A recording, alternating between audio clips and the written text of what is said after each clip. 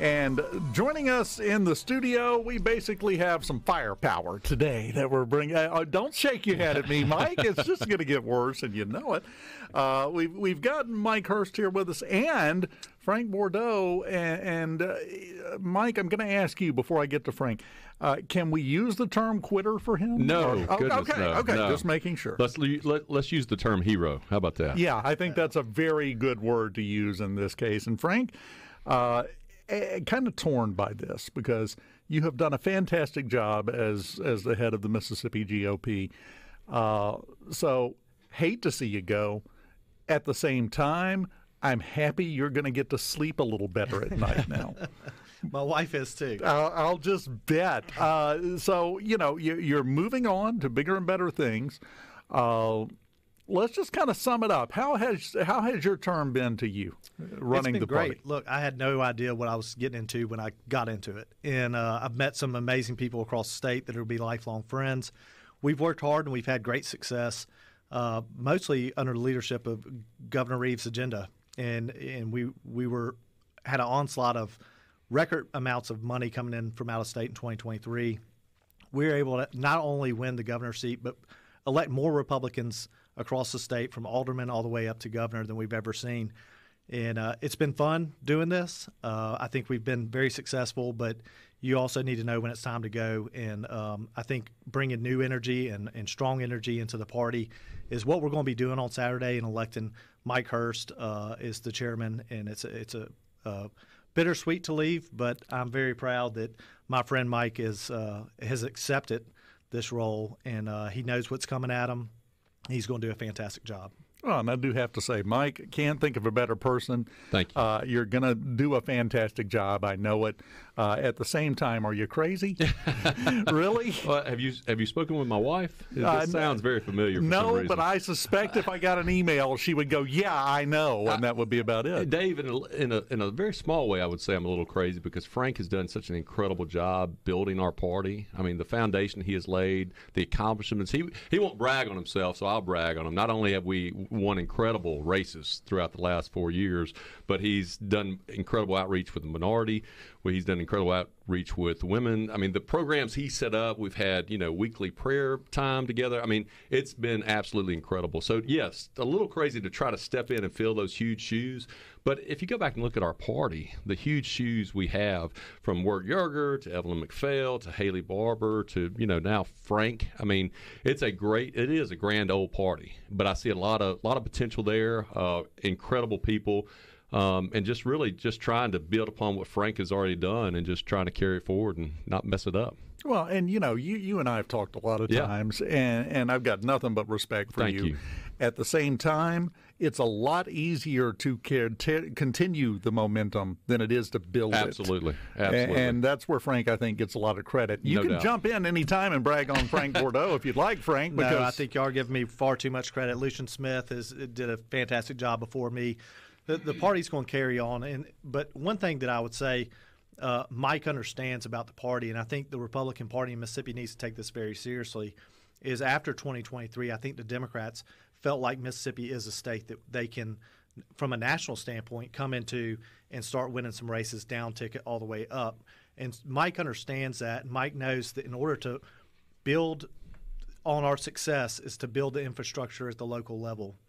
He understands that this isn't a top down party, this is a bottom up party.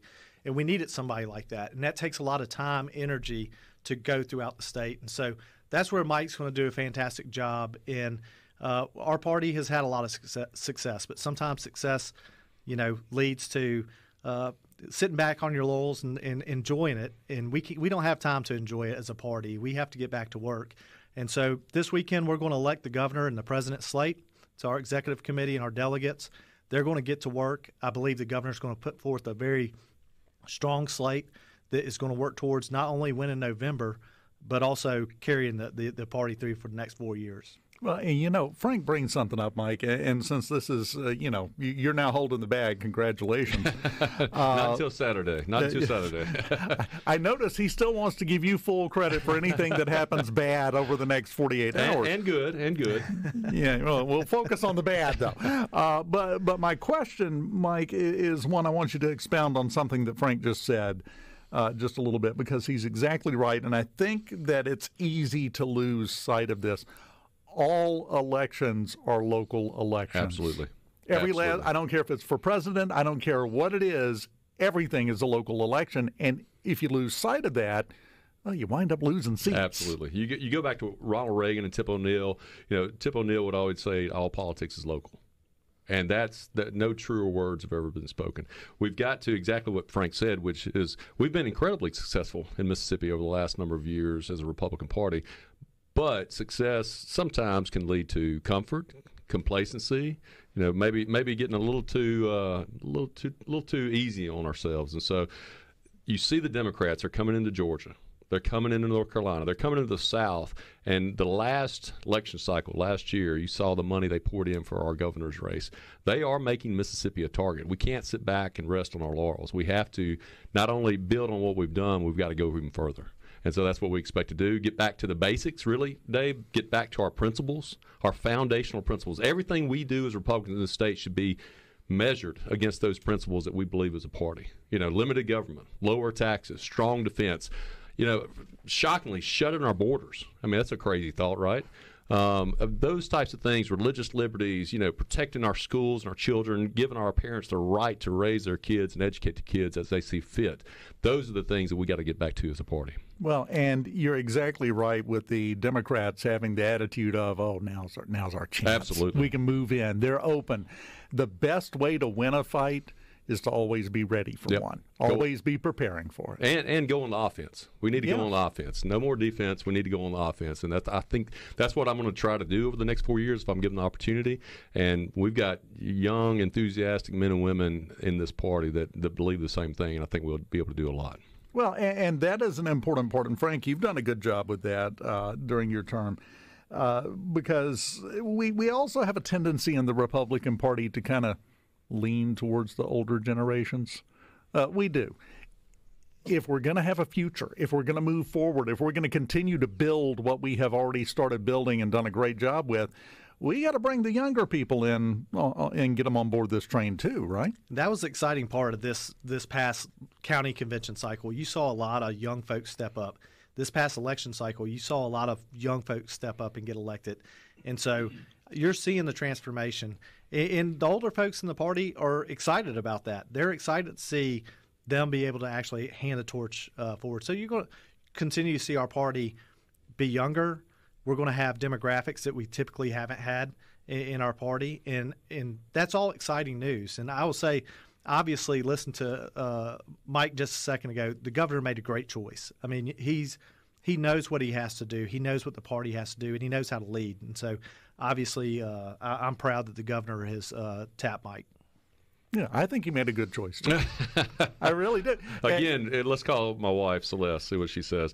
Um, no, eh, I feel the exact same way as Frank does. I, I was speaking to the Ole Miss College Republicans a few weeks ago, and, and Dave, these guys and gals are fired up. I mean, they are fired up for our country. I mean, you saw the the protest, the very small, minor protest at Ole Miss, but you saw the counter protest, singing "God Bless America," USA.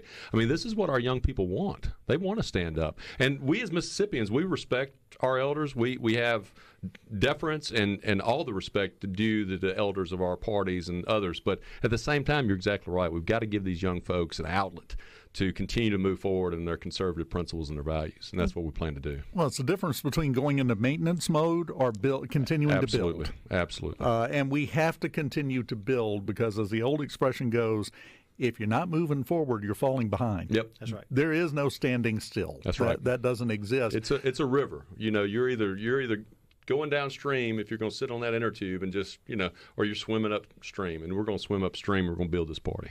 Well, and that's what we have to do. Now, I understand uh, that we have a special visitor coming in. We do. Very excited. Uh, when Laura Trump was elected co-chair, she said, "What can I do for Mississippi?" And I said, "We need you to come to Mississippi for our convention, not only to help us raise money, and that's what ultimately she's there for, but she's also going to support the slate that Governor Reeves and President Trump has put together."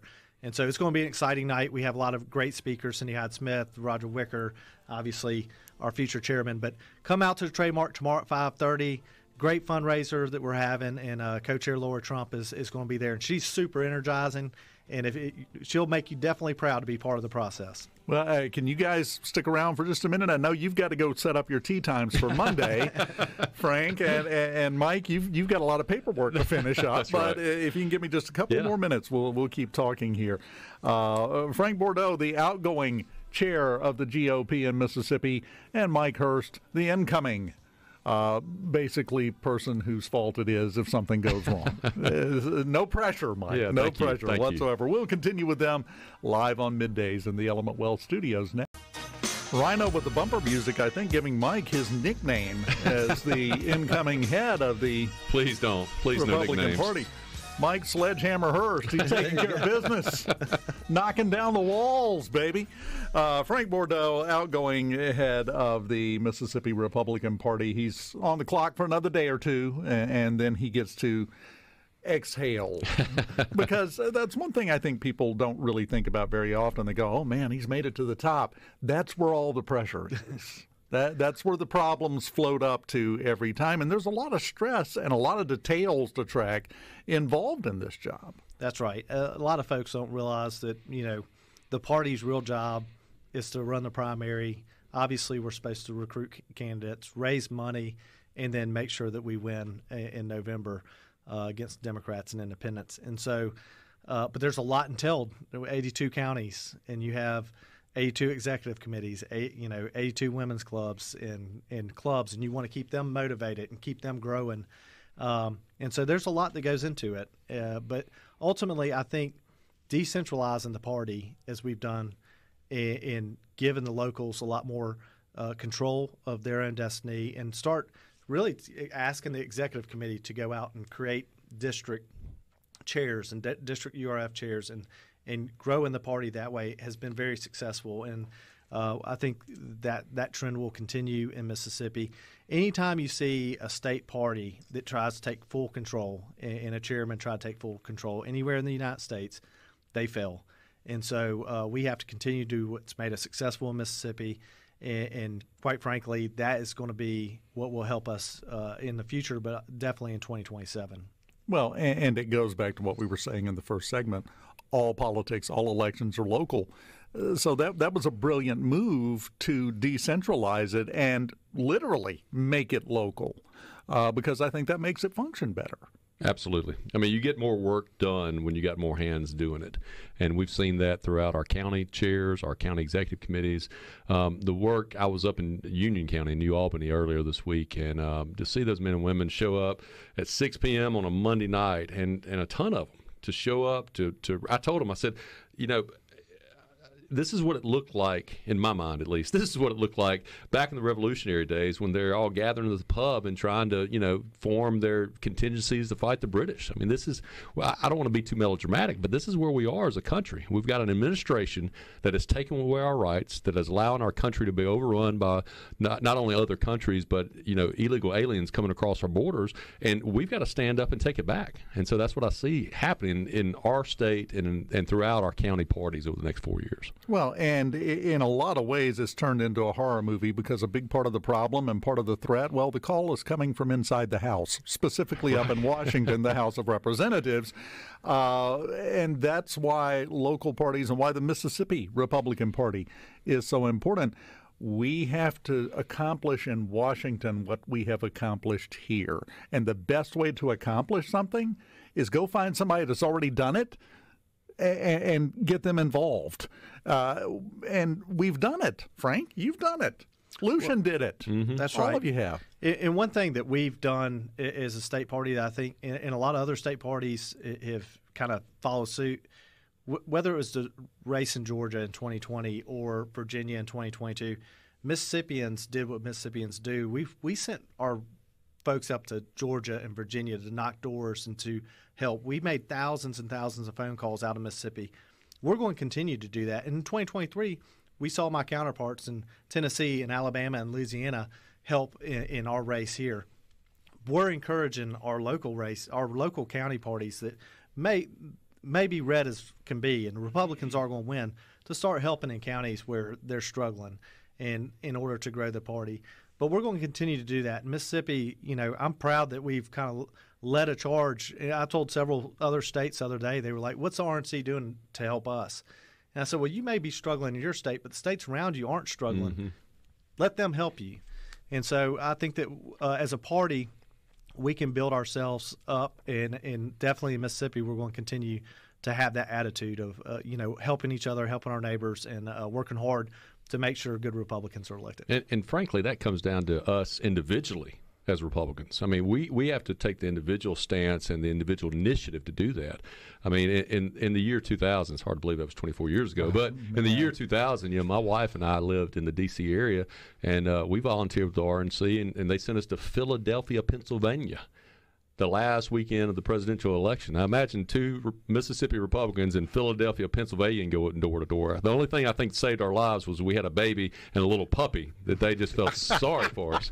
But we did that over and over again. I went down to North Carolina in the early 2000s. I came back home to Mississippi and helped out in the Pickering versus Shows congressional race. Um, my family and I in 2016 went up to Missouri. This is what we as Republicans have to do we we we we tout individual responsibility. We tout individual initiative. We can't sit back and wait on a, a, party chairman or a county chairman to tell us to go out and get involved and help others. We got to get out there and do it ourselves. No, that's exactly right. Because when you get right down to it, successful politics operates on the buddy system. Absolutely, that's right. I mean, it really does we've kind of lost sight of that to a certain extent. Uh, just nationally, mm-hmm. we've lost sight of that. And I think we have to lean harder back into it to continue to build on the success that we've had, which is the goal. I know it's Mike's goal. I mean, come That's on, right. we know what he's going to do. Frank's going to be sitting at home cheering you on. Yeah, no, Frank's going to be right there in the fold. He doesn't know it yet, but he's going to be uh, just as busy a non-chairman as he has been as chairman. So don't, don't tell him though, okay, Dave? Okay, yeah, it's just just between you and me, Mike. It's no yeah. problem. Oh, oh, hey, hey, Mike, yeah, uh, Frank just walked back in. Okay, good. Shh, shh. Okay. Yeah, it's there is no rest. For you. I'm going to take a break, and then I'm I'm here to do whatever uh, the chairman and the governor asked me to do, as well as our other statewides. We're we're one big team here, and uh, I'm excited to help in any any manner that I can be helpful. Well, and again, and I, w- I want to make sure we get back and we touch on this again and put it out uh, that we have Laura Trump headed to town uh, tomorrow night, isn't it? Tomorrow, tomorrow night. night. Yeah, tomorrow night she's going to be here. Five thirty at the trademark we ask you to arrive early. There's a lot, you know, uh, we're selling tickets like crazy. It's only hundred dollars to attend, and so if you want to come and attend, uh, you can come. There's other levels if you want to take a photograph with her or, or you know other other options. But we we would ask everybody to come. This will help us fund the party through the rest of the year. Laura was so great at uh, making it very clear that every dollar raised tonight or dollars that goes to the state party and the state infrastructure, and that is shows you the type of leadership that she and Chairman Whatley are. They understand the value of state parties, and um, so we're very blessed to have her, and we're excited to hear what she has to say. There's going to be a few other things that are going to happen tomorrow night that, true, you know, our Republican Party is going to be excited about. Well, maybe a few surprises if your guests come out and you know oh, it's. Oh, really? So. Yeah. oh, really? yeah. You're getting a little tease yeah, here. I like Just that. A little bit. A little bit of marketing. Yeah. Mike, Mike's got this figured out already. No, no. That's, that's, why he's coming in. I tell you, it's perfect. But I'll just say this if you want a strong national Republican Party, it takes strong state Republican parties to make that happen. Absolutely. 100%. Uh, and that's why it's important to support events like this, uh, to support your state party, uh, even if it is on the local level. Even if you go, I don't care if you spend 30 minutes on a Saturday and go knock on five doors when it's needed, you're helping. That's, that's right. huge. Yep. That's right. If a lot of people do that, we're in business. And we have to remind Republicans that, you know, we are there to serve. We're there uh, on a voluntary basis because, and we have to be there because Democrats have almost an endless amount of money to hire people to go door to door, to hire people to make phone calls.